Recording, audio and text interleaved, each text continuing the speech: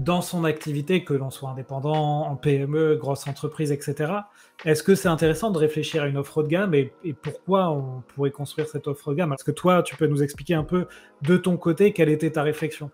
La, réponse simple, c'est pour booster son chiffre d'affaires. Hein. C'est-à-dire que voilà, le, truc easy, c'est ça. Hein. Clairement, quand tu as une offre euh, haut de gamme, en plus de ton offre existante, ou, euh, ou, alors tu peux remplacer ton offre existante par une offre haut de gamme, tu peux clairement multiplier ton chiffre d'affaires. C'est plus intéressant d'avoir moins de clients qui payent plus, euh, parce que tu peux du coup générer plus de revenus en travaillant moins.